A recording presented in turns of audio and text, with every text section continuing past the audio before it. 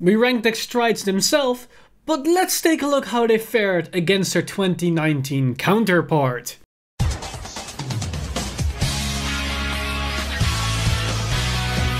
Stand up! Vanguard! Hey Grafaders, last time we discussed the Premium Collection 2020, we ranked all the strides from winners to losers and to have a better understanding which are actually the good strides that came out of this set. But there's something interesting that we can analyze and is something interesting to discover once we take these strides and lay them side by side by their 2019 counterparts as we can see either an evolution of the clan itself or a very interesting dynamic and even maybe a new underlying strategy that Bushiroad is trying to establish for the respective clan in their premium landscape. So without any further ado, this is probably going to be a long video, so let's jump straight into the clans and the strides themselves, and we're going to do them in the exact same order as we did for the winners and losers video for the Premium Collection 2020. So we're going to start off with Royal Paladin, and Royal Paladin got two very interesting strides the past two years as they got Divine Knight of Twin Absolution Saint of Twin Sword for the 2019 Premium Collection, and for 2020, they got Holy Dragon Crystal Luster Dragon. And what's interesting about this stride is that Saints of Twin Sword was a really good multi-attack potential card as it allows you to fetch out any grade 2s, it allows you to get power on these units, so if you did this mid to late game, you could have a very deadly multi-attack potential going on. And this card was scaling through the entire match as it became stronger and stronger the longer the game progresses. So it was a good early game stride as well as a good mid-late game stride. But then we get to the new stride, and this card is basically the perfect and the embodiment of Standard plus Royal Paladin. But not only that, this card also combines really well with old school strategies like the Alfred engine with the Blaster engine, as well as some of the Legion archetypes, and all that good stuff that we have in the OG era of Vanguard. But what's interesting about these cards is that once you put them side by side, you see something very interesting here. As the old stride is a very good first stride, but also a very solid late game stride. But the same can be said for Crystal Luster Dragon thanks to GB3 ability with the Garter Stick on top of it.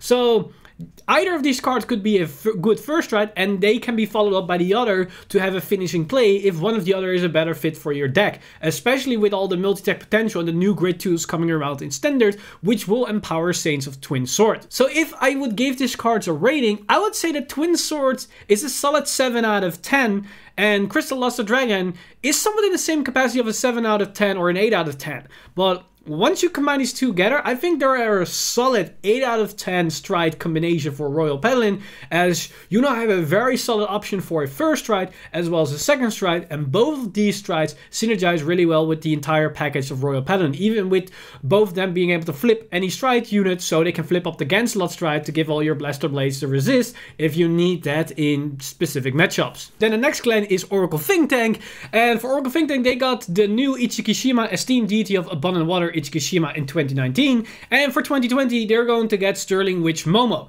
So Ichikishima was definitely a 10 out of 10 card because this thing was insane. It blocks any type of defensive option because it nullifies all auto abilities and could swing in for some high, high numbers. So this was a deadly first try. And for obvious reason was banned. So it was a 10-10, but now it's basically unrated because the card doesn't exist. And when we take a look at Sterling Witch Momo, this is basically the perfect card to fill the gap which the new Ichikishima left behind once it got banned, because Oracle Think Tank was lacking a solid aggressive early game stride, a good first stride option, and Sterling Witch Momo is basically that. But this time in a more fair package, but it also synergizes with the whole concept of Oracle Think Tank with the whole top deck manipulation, the whole trigger stacking, and all those kinds of crazy interactions that Oracle Think Tank is known for. So Sterling Witch Momo is for me a pretty solid 9 out of 10 stride. This is a really strong stride and probably will help make Oracle Think Tank a lot more competitively on the premium landscape as long as certain things don't go wild in the format. And from Oracle Think Tank, we dive into Angel Feathers, and Angel Feathers is one of those few clans that got shafted the last couple of years with the premium collection sets, as in 2019 they got Evangel Seraph Raphael Mitra, and this year they're going to get Holy Seraph Basasiel, and both these strides are exactly not what Angel Feather needed. Both of them are stall cards. Rafael Mitra heals you excessive amount of damage, but doesn't really do anything besides that. And Holy Seraph Basaciel extends your damage zone, but besides the late game guard restrict, also doesn't really do anything. So Angel Feathers is still left to be a somewhat of a stall deck, but a really weak kind of stall deck because healing damage is probably the weakest form of stall because that also leads to deck out issues and because deck out is a serious problem then what's the point of this type of stalling? You probably are better off with stalling if you have increased shield value, as we're going to see with other clans that actually do this a lot better. So, Rafael Mitra was basically a 2 out of 10 stride, and Holy Seraph Basaciel is probably also a 2 out of 10 stride. And together, they honestly are a 1 out of 10 because they basically do the same thing and they don't help the clan at all. So this is a really, really bad package for Angel Feathers. Then next up, we've got Shadow Paladin. And Shadow Paladin got some really interesting strides. last year, they got Drag Principal Morfessa. And this year, they're going to get Dark Dragon Chain Rancor Dragon. And let me tell you, Morfessa, definitely 9 out of 10 stride. This is a really, really powerful stride. The only issue that it has is that it needs some setup, but the setup cost is no issue for Shadow Paladin at all, and they can really do this very fast and probably on the first stride turn. So Morfessa is a really good card, and the power potential of the card is insane. But then we get to Dark Dragon, Chain Rancor Dragon, and this is basically the carbon copy version of Crystal Luster Dragon. But I'm not so sure if it's in the same ballpark as the Royal Paladin Duo because those two cards can be played in the same exact deck as they are both combo potential with the same engines and can be swapped out by one another in the same exact deck. This is not the case for these two strides, as the Morfessa deck is very heavily focused on a ritual focused deck, and the Dark Dragon Chain Rancor Dragon is mainly for a standard plus build, and maybe some OG options, but definitely not with Luard or with Ritual. So where Morfessa is 9 out of 10 card, and Dark Dragon Chain Rancor Dragon is probably around the 7 out of 10 in the same ballpark as the Royal Paladin Stride. But combined, I probably think they're more around the 6 out of 10 because they are nice for the clan as a whole, but they do not help the clan to unify their strength and become even stronger out of this collective set. Then from Shadows we go to Golds, and Golds got Golden Dragon Spear Cross Dragon last year, which was a really strong stride, which obviously is a 9 out of 10 card. The thing was insane, it boosted Golds to an insane level, especially with the whole Ezel engine, and still without the engine will be really strong as you can just superior stride on your opponent, even if they aren't on grade 3, which is pretty insane if you think about it. But now they also got Golden Dragon, Blampin Dragon, which is, in my opinion, a solid 7 out of 10 stride. Because it does what the other strides do in certain circumstances, but it also has some differences and niches that it allows it to be unique and probably playable in different builds because you can actually combine these strides really nicely as you can go into Spear Cross Dragon as a first stride if you want to superior stride on your opponent and then next turn you can go into Golden Dragon Blampin Dragon to just utilize the extra on calling but also not minus on hand so you actually sustain your hand size while also applying pressure and you can combine it with all types of multi-tech cards from the standard era instead of the old Gero so you have more flexibility here. So I honestly think that together they're a solid 8 out of 10 package because they do strengthen each other and that's why it's definitely better than just Blampin Dragon on its own. Now we get to the last clan for the United Sanctuary and we have once again a clan that in, in some regards got shafted both years as Genesis got Complete Beauty Amaruta Ampharos last year and this year they get Hero Deity of Zenith Marduk and I've seen many, many comments about both cards from players that they say, oh, there isn't this particular situation this card is good, or this particular situation is good, or in Standard Plus is good. But there are so many flaws, or so many hoops and hurdles both these strides need to jump through that I do not see that is worth it.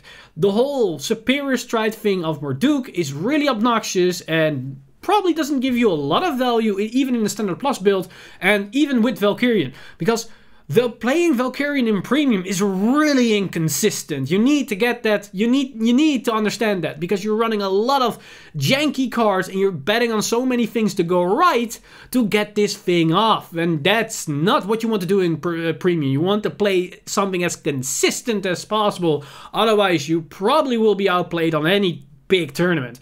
And Amaruta Ampharos was basically a lot of skills, a lot of options, nothing actually sticked. So where Amaruta Ampharos is probably somewhere around the 4 out of 10 card because there are some niches.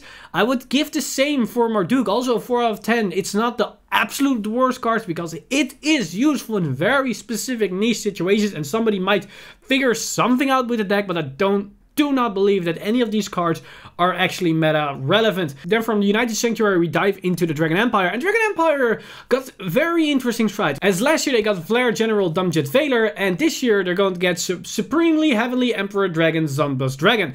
And what's interesting is that Dumjet Vaylor is definitely an 8 out of 10 strat. This thing is insane. The restand potential, also the, that it interacts with Sentinels and G-Guards, is pretty good.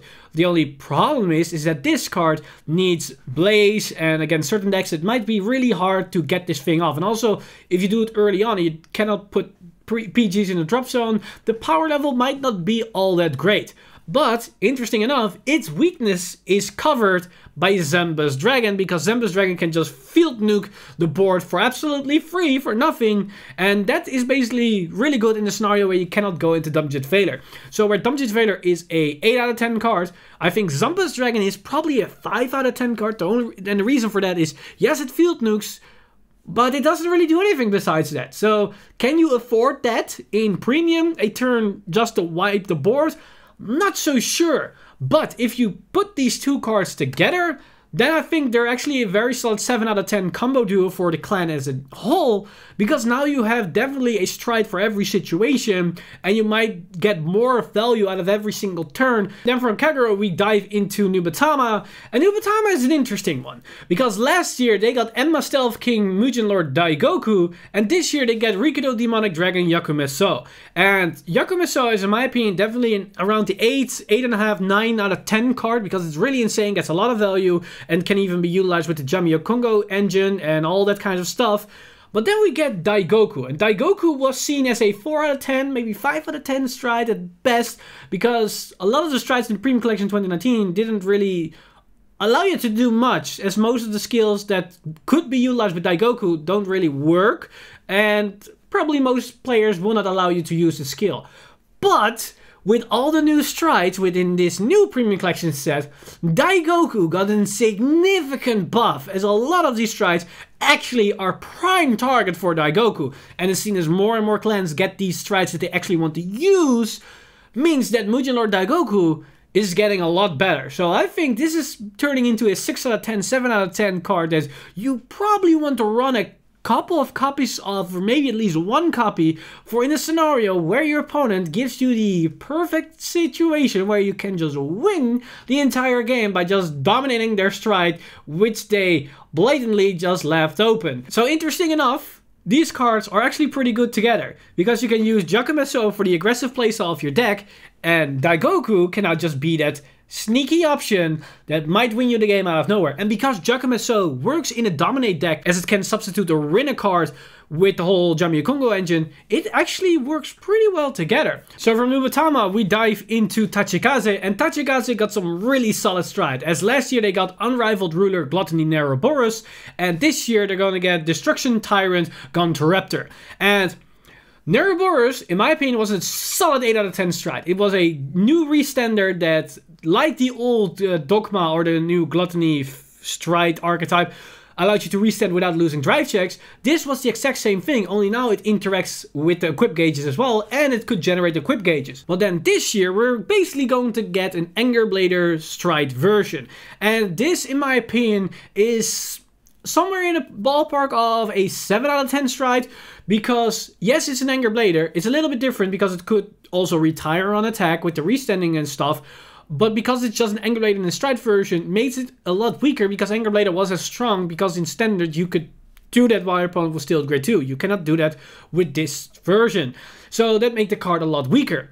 But if you combine these cards together, these are actually really good strides just like the Royal Paladin duo. Because you can go into the Gunteraptor, set up your board, multi-deck a couple of times, create multiple gauges, and then the next turn you can go into a Neroboros and then go wham without actually sacrificing units And because Gunter Raptor flips a unit face up, you can flip up a Gluttony Burst, which then allows you to use its G-Zone ability in the turn, you stride into a Neroboros, which makes all your effects even more deadlier, which allow, which is pretty damn solid. So where one is an 8 out of 10 and one is a 7 out of 10, I think combined they are a solid 9 out of 10 duo because you're starting to fill in all the different gaps for Tachikaze which, which they had, and now they start to look like a beast of an engine that could kill any opponent in any type of situation. And I think this could be the final push they needed to make actual consistent top tier status, which Tachikaze had a top tier stance, but it was on and off in certain situations. Not everybody was taking them seriously, and I honestly always saw their potential, but probably with these two strides together, might be enough for the public eye to actually notice them for once. Then from Tachikaze, we go to Murakumo, and if you thought the new stride Dionoya from Murakumo was already deadly enough, it becomes even deadlier when we take a look at its previous stride from last year. Because last year they got Ambush Demon Stealth Dragon Shibaraku Victor. And this card was a unique card as it allows you to copy cards from the drop zone, which was something that fixed an issue for Murakumo because Murakumo copied units on the field, but if your field was retired, you couldn't actually plus this anymore. And with this, you had always a situation where you actually could plus or get some cards onto the board, which was a major issue for Murakumo at the time. But also, its second ability was interesting as it allows you to have a Shadow Stitch ability on a strike unit, which allows you to give more attacks. But in most situations, you couldn't really utilize it. So, Shibaraku Victor was probably more in the ballpark of a 5 out of 10 strides, which was more of a niche card and actually made a big impact on the meta landscape for Murakumo. But, now that we've got Ambush Demon Stealth Dragon Nuya Dio, which is a 10 out of 10 stride in my opinion, because that, that thing is insane. It's insanely strong. It's probably really consistent, definitely with the whole Standard Plus build. But there's one important thing here. This card multi-attacks because it resends the entire board and all that kind of stuff. And you're probably always gonna take the Vanguard attack because it comes with a gigantic Battle Battledore effect. But on attack, you flip something face up, which means you can flip up Shibaraku Victor and then have another potential attack ready. Because you're attacking with so many attacks, it probably forces your opponent to guard one of these attacks. And if they did not guard before you attack with the Vanguard, so they're so they need to guard one of the attacks after everything resent, that means you get one extra attack out of thanks to your Shibaraku Victor and G-Zone, which then can activate its Shadow Stitch ability. So just by resolving Nuya Dio, which already give you inherently more attacks and more insane value, you get one more extra attack off thanks to Shibaraku Victor's G-Zone ability. And this makes Nuya Dio even more deadlier. And what's even more insane is if you combine this with the whole uh, Elemental engine that can flip off even more units in the G-Zone, you could potentially flip up more Shibaraku Victors beforehand and then set even more deadlier combos off before you do all your thing. You could definitely set up a OTK turn when you go into Nuya Dio and you have a couple of soul left.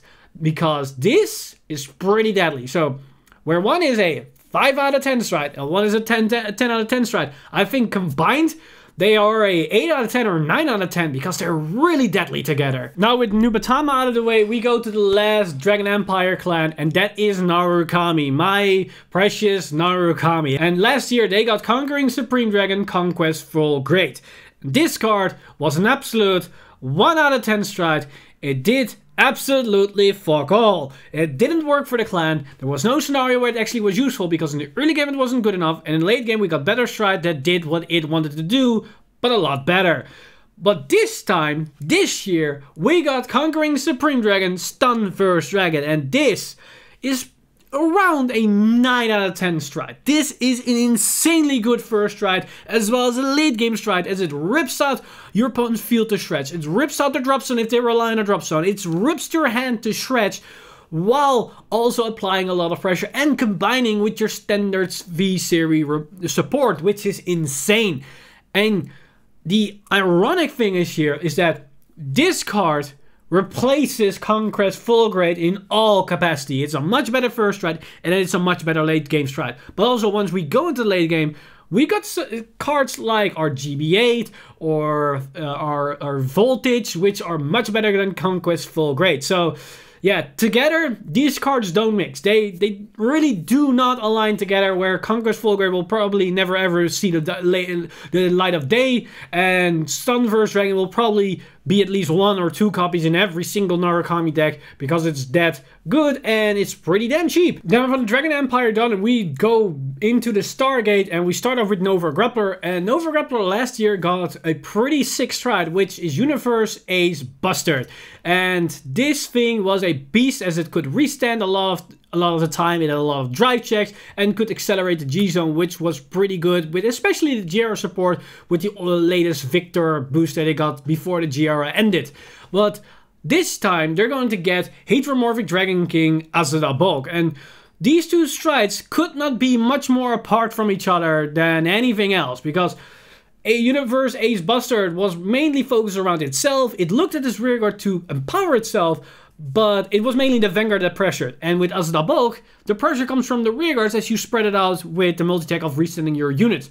The interesting thing is that Ace Bustard is probably around a 7 out of 10 stride. It's not insanely strong as a lot of people, as myself included, thought it was, especially since you need to build around this card to make it work, and even then it's pretty RNG reliant as you rely on your trigger sacking to win the game. Uh, but Bulk is just kind of whatever with just the restand. There isn't a lot of gimmicky things or things you could abuse with the stride. It just does what it does, and that's about it. So that stride is probably around a 5 out of 10, a 4 out of 10. But interesting enough, because you do have these two strides, you could both splash them together, and if you could not use an Universe Ace Bustard, you might have more value out of an Azada Bulk, as you at least know the amount of extra attacks you're going to get. You at least know what minimum value you're going to generate. And if you could not utilize a Bustard, you probably could not really utilize a winning champ as well as you need somewhat of the same pieces to make both stride works. So I think even though Azada Bulk isn't a great stride, it might help you to set up or at least make some plays where other Nova Grappler strides couldn't really utilize that uh, particular situation. Then the next line we're gonna tackle is Dimension Police. And this is an interesting one, as last year they got Strongest Comanche Final Dimax DX or D Cross. And this stride was pretty interesting. It had a really interesting mechanic and an effect, but the card itself wasn't really that great and made the 5 out of 10 card stride because you were really reliant on the cards that you got and you never had a guaranteed value or the amount of attacks or pressure pressure that you could generate with it. So that was the main issue of Final Dimax D Cross. But then this year they're going to get Heatwave Beast Gale Maglas and this is a really interesting card because it ramps up the pressure of DP as you could multi-tag. But the interesting the most interesting aspect is that it increases the defensive capability of their clan, which is interesting, especially if you combine with the latest support that also increased defense, and their previous VR that was Liner that also increases the defense options of your Grade 3.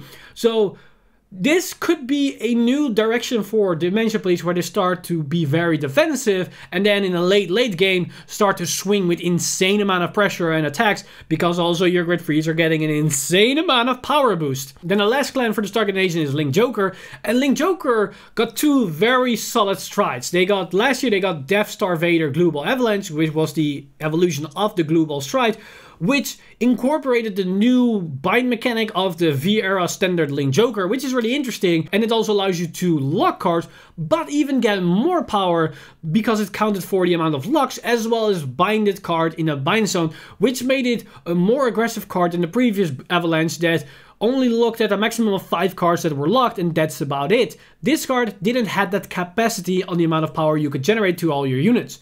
So this was, in my opinion, a solid 7 out of 10 stride as it could also circumvent anti-lock cards as you just bind them and your opponent is just gonna minus out of nowhere. But then this year, we're going to get Nebula Dragon, Variant Dragon, which is an anti standard card as it eliminates markers. And interesting tidbit, this does counters the new 7 Seas engine as that's also markers. So yeah, 7 Seas doesn't want to face up against this clan in a premium format because, oh boy.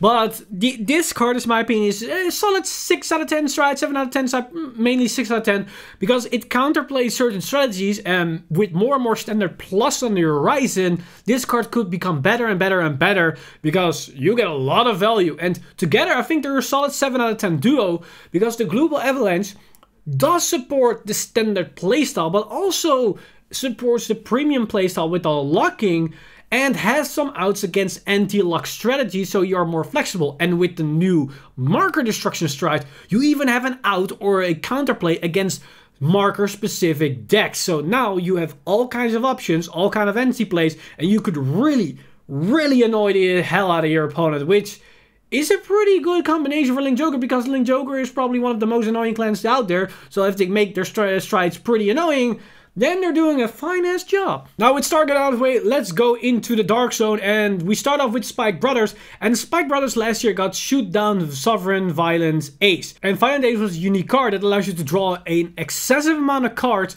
if you have a lot of cards in your G-Zone face up, which is pretty usual for a Spike Brother deck if they go in the GB8 route, which may give them another option beside the whole Hell Heart 8 play but it also allows you to keep chaining your multi-tags as every time your opponent guarded or put multiple guards onto the guarding circle, you could then call another unit to the rigger circle, which fueled your multi-tag. And I think on average it was a 6 out of 10 card. It wasn't the best stride, but it gave Spike Brother players another option or another out in certain situation where maybe the Hellheart 8 play wasn't as optimal because maybe their whole hand was shredded to nothingness and a low hand size means your Hellheart 8 play is probably really, really weak.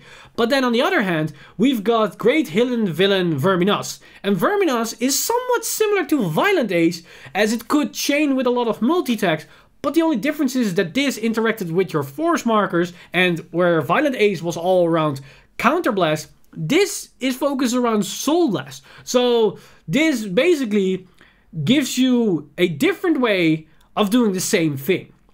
And only the, only the difference is this card draws and then calls, and Violent Ace can draw a bunch of cards beforehand and then start minusing for multi-tag. So there are different approaches here, depending on how many you could draw. You could maybe plus or minus that turn. So that's to be looked at during your plays. And I think they are somewhat in the same value. I think they're both are around 6 to 10, 6 out of 10 strides. But I think there is some value with them both in the same deck. And the reason I say that is because they do exactly the same thing, or at least similar enough, but because one is focused around Counterblast and one is focused around Soul Blast, this means no matter the situation you find yourself in, you could set up a loop no matter if you have an excess amount of Counterblast or an excess amount of Soul Blast, or I should reverse the hand gesture because of the stride. But regardless, this gives these strides more potential. And I might be wrong here because I'm no Spike Brothers expert, but I think this is an interesting dynamic between the two strides and maybe should be looked into for potential future plays or future deck building, as this could be a different approach than the whole Hellheart 8 play that is really looking around your hand size, which might not be the most optimal play, especially with something like the Narukami Strides in the format. Then from Spike Brothers, we go into Dark Irregulars, and Dark Irregulars got, again, a very interesting direction, because usually the the power lay or the rating goes up in this direction. The last year was weaker than the previous year. That's most in most of these strides the case. There are some strides the reverse, but not as gigantic as this one. Because Dark Irregulars last year got Evil Gust, Pontiff, Gusteel, Daimonas. And Daimonas is an insane 10 out of 10 strat in my opinion because it copies two abilities of two cards which can be anything, so it also is somewhat of a standard plus build with whole uh, Brufus and NLK shenanigans that's been dominating premium. But also the fact that it powers up with all the soul charging makes all your attacks insanely powerful, which is a very, very, very deadly combination. So this is a solid 10 out of 10 stride. But then this year, they're getting Upheaval Chief Galvant, which is a RNG soul charge engine that doesn't give you any value on a consistent basis. You might draw some cards, you might get a high guard restrict on one single attack, or you might get 50-50 on both fields. And it costs you a counterblast. yeah, this ain't it, Chief. So I think this is a 2 out of 10 stride, which probably has a very, very small window of opportunity of usefulness to it. And I think definitely everything hinges on Gasteel Dominos. But even together, I think it lowers Dominos' ability because Upheaval Chief Galvant soul charge randomly, which could accidentally soul charge your targets that you wanted to use for Gasteel Dominos, which then shuts off Gasteel Dominos for your entire game. So yeah, I think together they're probably a 4 out of 10 maybe even lower, because I do not recommend playing these two cards in the same build, especially if you're planning on striding into Upheaval Chief Galvant on a consistent basis before you go into your Castile Dominos. So yeah, heed my warning on that one. Then next up we've got Pale Moon, and Pale Moon last year got a solid 8 out of 10 stride, which was Fancy Megatrick Dark Lord Princess. This was a really good stride. It gave you a free restander, it gives you even some GB, GB acceleration, it gives you multi-attacking, which was pretty good because it doesn't cost you any counterblast, which made it very versatile. The only issue was it relies on Magia, which made it only useful with the Harry GB free stride or the Harry promo, which is the reason why it's an 8 out of 10 and not something like a 9 out of 10 or 10 out of 10 because it was limited. But this year, they're going to get mid-ear Mega Trick Yvette. And Yvette is another Magia stride, which works with Dark Lord Princess. And Yvette in itself is, in my opinion, already an 8 out of 10 stride. This is an insanely cheap, because once again, it doesn't cost you counterblast, it's just a flip. And it could give you an Accel circle, and if you went for Accel 2, is an actual plus, and you could multi-attack with it.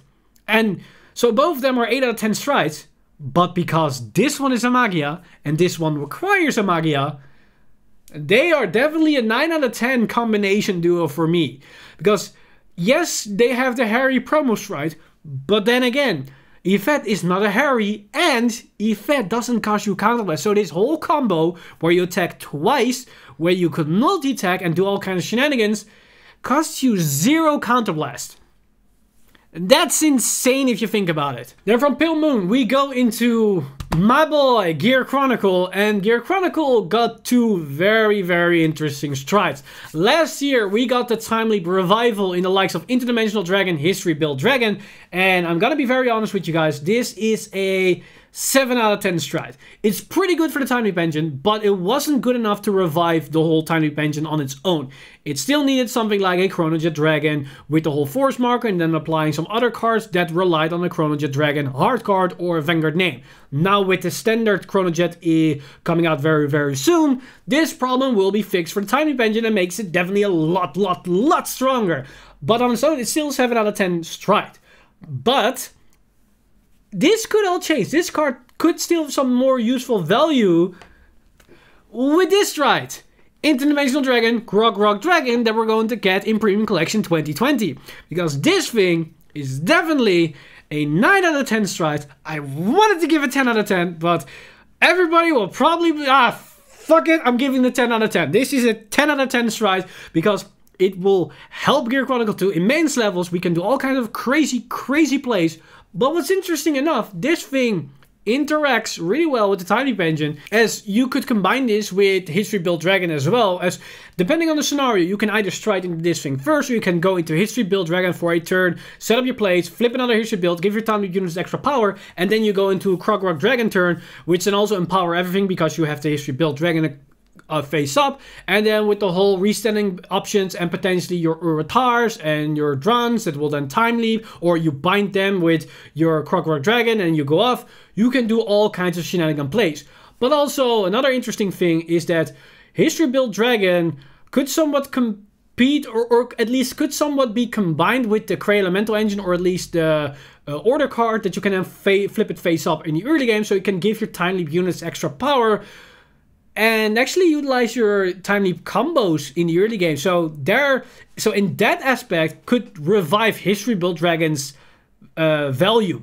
So I think where History Build Dragon is a 7 out of 10 and Krog Rock Dragon is a 10 out of 10, definitely 10 out of 10. I think combined, I think could be a solid 8 out of 10 because there are scenarios where they could be very useful together, but there is probably more, they're probably highly likely more on the separate build but I see potential of them being utilized in the same similar build with some really interesting tech options, like within the whole uh, Tempest Sphere order card and that kind of shenanigan place. But we still need to experiment a bit more before we can conclude on that part. Then from the Dark Zone we go into Magallanica with Granblue, and Granblue got last year Ghosty Great Emperor Big Obadiah, and this was a solid 8 out of 10 card, because this card could up your drop zone the fastest unlike any other card in Granblue, and this could facilitate a second turn Megiddo OTK turn without any problem as it could fetch any key pieces as you could mill all your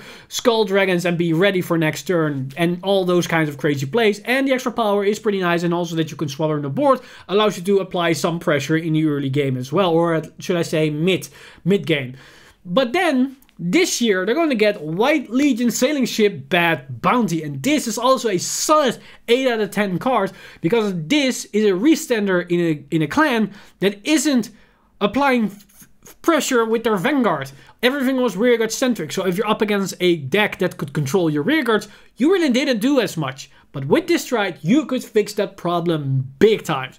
And I think together, they're actually a solid 9 out of 10 combination. The reason why I want to say that is because Big Obadiah with the whole Megiddo uh, OTK is already a solidified deck, which is pretty damn strong. It even made finals in the Premium uh, World Championship this year, and for obvious reasons, as you should never underestimate that deck. But it did have some glaring weaknesses against certain matchup, but those matchups are now suddenly playable and winnable thanks to Bad Bounty. So I think these two cards together are definitely better than them on a separate basis. So yeah, definitely a combination as a 9 out of 10. Absolutely. And then after Granblue, we've got Bermuda Triangle. And Bermuda Triangle is another one of those yikes clans because last year they got dearly desired Grand Stage Shandi. And this card, yeah, this card was, it, it, it was just not it. This was a quite a mediocre stride, and it still is. I think it had some place, but definitely was not good enough. This is a 2 out of 2 out of 10 maybe 3 out of 10 stride that's about it and then this year when we thought we're actually gonna get a solid stride they they went they went they just went full full retard because they decided to release valuable verve Vederica and this stride is even worse in my opinion than Shandi because Shandi can be splashed in all kinds of builds. It doesn't even have to be in Harmony build, and could some could fix up some issues while you were playing. Vederica, on the other hand, doesn't fix you issues. It basically creates issues because you actually need to build a unplayable Highlander build in premium, which is super inconsistent in a format which is mainly dominated by consistency. So yeah, this is a, definitely a 1 out of 10 stride for me. And together, they're a 1 out of 10. Because I don't even see how these cards should work together. Uh, well, on the other side, there is. Because Federica asks you to call mermaids, and Shandi is a mermaid, so that's how you could use it. But besides that, it's it's laughable.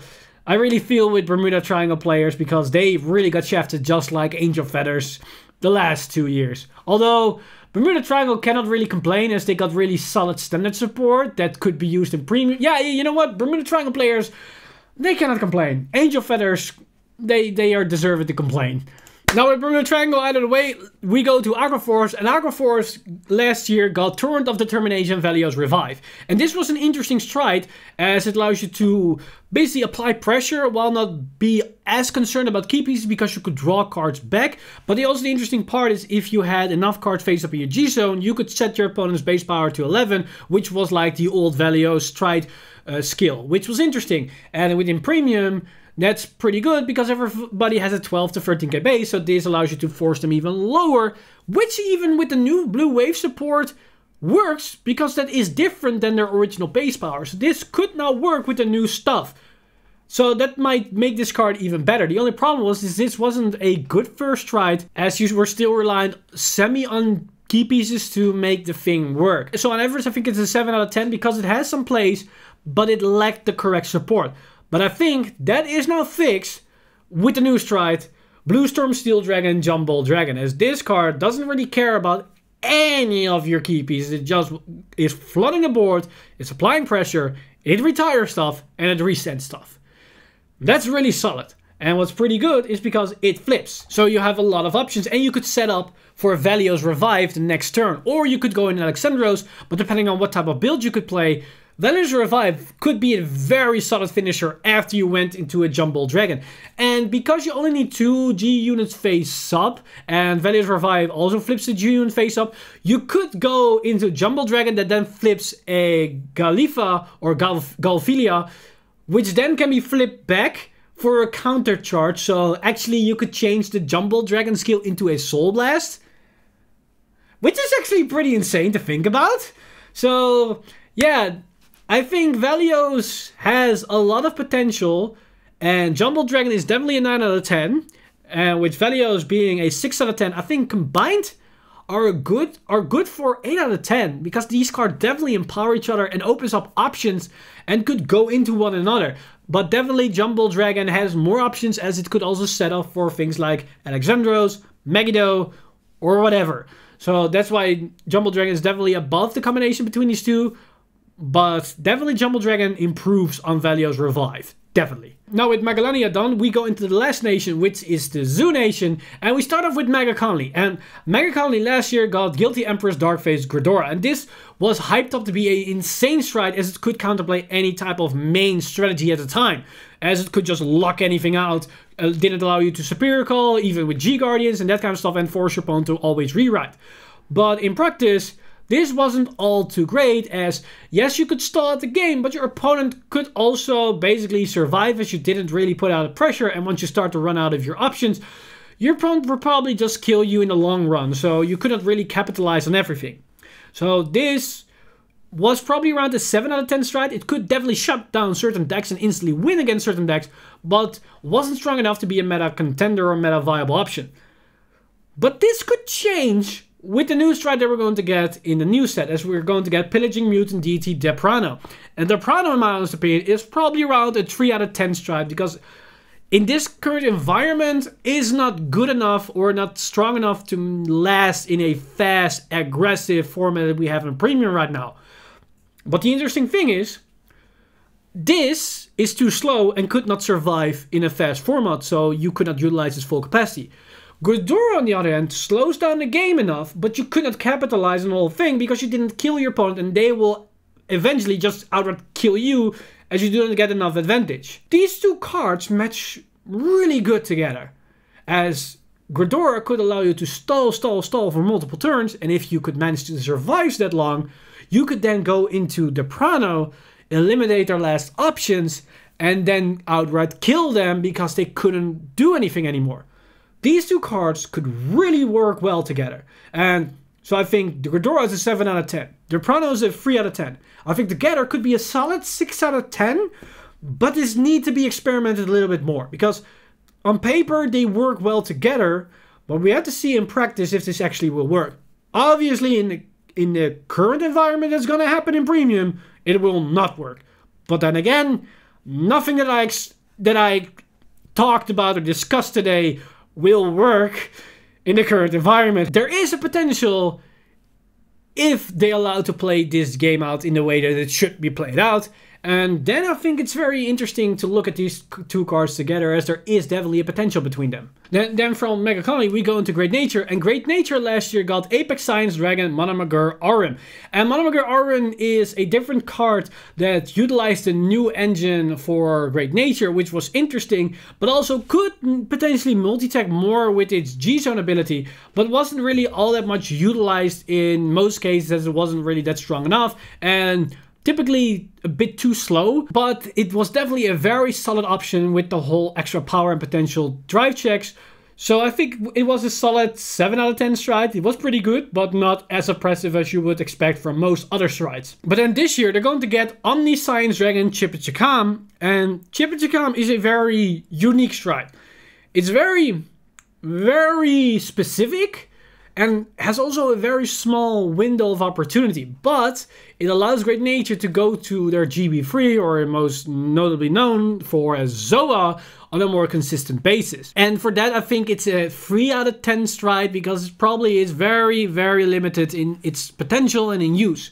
But with that said, these two cards together are very interesting. Uh, because Manamagar Armor has the G-Zone Soul Blast ability that if your Vanguard attacks, you could Soul Blast and call a card from your hand. And then Chibichikami's ability, whenever your rear guard attacks, Soul Blast and turn a G-Zone card face up, and that unit gets plus 5k power, yada yada, for the amount of cards face up. So basically, every time a rear guard attacks, Chibichikam will flip up a G-Zone card, which will probably be in Manamagar Armor, and then you do that a couple of times, and once the Vanguard attacks, you can activate all those Manamagar Armor skills and then recall even more units to the board. The only problem with this interaction between these two cards is that it will cost a insane amount of soul. Because you probably need uh, around 8 soul. 4 souls to flip up all the Manamagar Armors face up, and then another 4 souls to activate all those Manamagar Armors. You don't have to, that's the maximum potential for this combo. But this could be an interesting interaction between these two strides, which could make them better together than they were separate. Now, with great, great nature out of the way, we get to the last clan, which is Neo Nectar. And Neo Nectar last year got Untainted Holy Damsel Green Katrina. And Untainted, I'm not so sure if that's if that title still stands because it's it was a 10 out of 10 card and it definitely got tainted and so much tainted to a degree that Bushiroad had to ban the card outright. And yeah just like Ichikishima you might have get the 10 out of 10 rating but unlike my boy Gear Chronicle you just got yeeted out of the game and basically makes this whole discussion invalid or unuseful or basically uh, irrelevant because this year they're going to get Entracing Flower Princess Dream, which in my opinion is probably around a 5 out of 10 stride. It has some options. I talked about this in a previous losers and winners video about the premium collection. But there's nothing to compare here with this card with Katrina. If Katrina existed, this combination would probably be a 1 out of 10 because you never use this card and you only go for Katrina. Because there was no reason to go for this stride at all because Katrina existed. So yeah, for Sadrine, it was definitely the better outcome that Katrina got banned, but for Neonectar as a whole, the clan definitely got stepped back a couple of steps and they now need to start to rebuild their potential meta relevancy without Green Katrina. But luckily for them, a certain blue ball with a stormy friend might save the clan and destroy the format. Hashtag Zazen to zero. With that covered, we basically talked about all the clans, and this was an insane long video. Uh, hopefully can edit it down to definitely one under an hour because we're already way past the hour mark. But there are a lot of interesting things to talk about when you look at these two strides from last year and this year as when you look at them and on a separate basis, which I did in both losers and winners video, and I definitely encourage you to watch that video, but if you go for the losers and winners video for 2019, go watch the updated version that I did two months ago, links on top, because it gives you a better insight of what the actual standings are after a year of development with more and more support. It's interesting to look at these cards on a separate basis because you can just look at their power potential within the clan as a whole and general. But if you look at these two strides, specifically these two strides, what they bring to the table and how they could interact with each other, you start to see uh, interesting links and options that might not be as obvious if you just look at the strides on an individual level. And that can definitely be the case for multiple cards. And this is the reason why I definitely encourage everybody to Look at cards not only in a vacuum. A vacuum can only give you as much value. You start, need to start looking at multiple cards and see what the links are. And also look at the patterns that Bushiroad lays out in their sets because they definitely have a certain direction that they want to go with specific clans and what type of playstyle they want to push the clan. As some people might think they're just putting out random cards, but Bushiroad definitely has a roadmap for these clans and what type of playstyle they want to emphasis on how they want to play the deck. It was especially seen during the late year when they started to push ZTB for Gear Chronicle big, big time as they want to push the clan away from Time Leap. And in the beginning stages it wasn't all that successful, but definitely in the later stages they started to figure out how to do it and if you want to learn more about that story then check out this rise and fall video where i talked about the history of gear chronicle from the beginning of the year when the clan was introduced all the way up to standard before they got the new wave support for chrono fang and chrono jet Pretty interesting watch. Got a lot of positive feedback on this video, and if you haven't watched the video, then I definitely recommend you to watch the video as it's, as it's a really good watch. But with that said, that's basically everything for this video. Let me know in the comments down below what you guys thought of this video. It was definitely a long one, but there's a lot of interesting things to talk about. And with 24 clans and basically 48 cards to talk about, you tend to have a long video on our end. So let me know all your thoughts and opinions in the comments down below and maybe I overlook something about your specific clan as I'm definitely not an expert on every single clan as there are 24 clans and that's way too much for just one single person. As always, this video has been brought to you by our lovely patrons over at patreon.com slash Insider. You guys are amazing. If you do want to support the channel or everything that's happening on the channel, then you can simply do that by subscribing and hitting the bell button to be updated for future video, as well as liking the video and and if you want to support us a bit more directly, you can simply do that by going to patreon.com slash Insider and become a patron today. But nowadays, you can also go to my Twitch, which is twitch.tv slash MrTimeleap, and be a follower when I go live stream all kinds of Vanguard Zero content and maybe non-Vanguard Zero games, but for now, mainly going to be Vanguard Zero. And you can also check me out on Twitter, which is Twitter slash Mr. MrTimeleap, for all the latest scoops and insight on whatever is happening on the channel and everything regarding what I might do on the internet basis, because that's the social media that I'm updating the most. But with that said, I'm Mr. Timeleap, and I see you guys in the next one.